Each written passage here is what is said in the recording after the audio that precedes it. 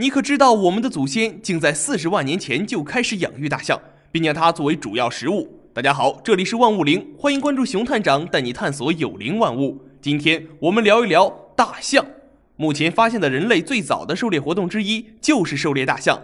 考古学家在呼拉盆地南部的约旦河边这个距现在有七十八万年历史的遗迹上，发掘出了史前大象的头骨。在大象头骨附近，还挖掘出了狩猎和屠宰用的各种工具。头骨上的打击痕迹证明了猎人曾试图敲开它。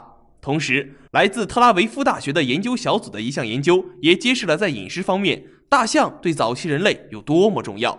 研究人员米奇本表示，早期人类与其他的灵长类动物不同，他们从植物纤维中提取能量，以及将蛋白质转化为能量的能力都很有限。因此，植物对于人类来说不是一种很好的食物。所以，我们的祖先如果想吃上一顿简单又营养的美餐，其实是一件十分困难的事情。在那个还没有发展到可以用火烹饪的时代，几种植物的纤维以及从其他零星食物中获取的蛋白质，就是早期人类能够获得的主要营养物质。因此，为了能维持身体机能，满足基本的能量消耗，他们的身体需要动物脂肪作为补充。生性温顺且体积庞大的大象，便成了他们的狩猎目标。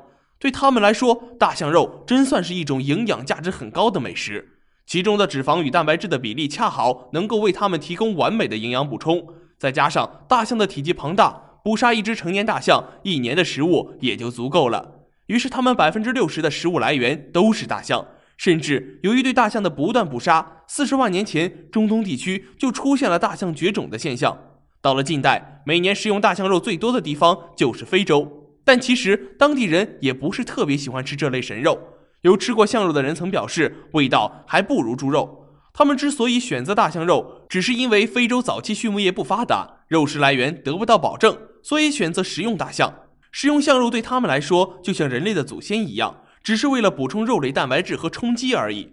不过如今，非洲许多地方也发展的不错，养鸡场、养兔场到处都有。他们也就犯不着为一口象肉拿着猎枪和弓箭去丛林里玩命了。要知道，惹怒了象群，一般人可是招架不住的。不过目前依然存在食用象肉的情况，但是动机和以上所说的都不一样，大多数都仅是为了满足尝尝鲜的要求。象肉的价格通常很贵，多个洛梅某风味餐厅的一份象肉约合人民币两三百元，在那里一份上等牛排也不过约合人民币一百多元。如今，大象肉已不再让人们垂涎欲滴。不过，大象的数目仍然在不断锐减。二十世纪七十年代之前，非洲人捕猎大象主要是为了得到象肉和象皮；二十世纪七十年代之后，则是为了获取象牙。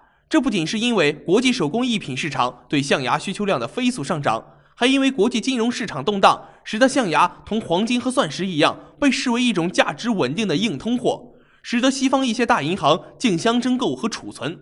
从二十世纪七十年代起，大象被世界保护野生动物组织列为濒危动物。非洲作为大象猎杀的重灾区，许多国家也相继颁布禁猎大象的法令，同时打击偷猎大象、走私象牙的团伙，对有大象栖息的地方加强管理，进行武装巡逻。他们坚持不懈的投入，在二十年之后也看到了成果。二十世纪九十年代，非洲象的数目开始缓慢回升。熊探长觉得，早期人类猎杀大象是为了生存，物竞天择，不得已而为之。但现在，某些人对象牙的狂热，其实是一种价值扭曲的艺术追求，是虚伪的文明与高雅掩盖下的一张张极度贪婪的丑陋面孔。